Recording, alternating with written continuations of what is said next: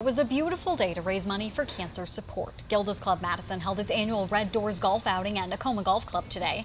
The group acts as a lifeline for people battling cancer. It offers free cancer education and emotional support. Today's event raises thousands of dollars toward Gilda's Club's annual budget. Our fundraising events are vital to what we do here at Gilda's. We have three major fundraising events. This is our second of the third of the year so far, and it raises about a third of our annual budget, which is huge. It's a big reason of why we're able to offer support services to the thousand plus members and counting year over year. This is the 17th year for the Red Doors Golf outing. Our 27 Storm Track Senior Chief Meteorologist Bob Lindmeier was there helping the cause as the event's celebrity golfer.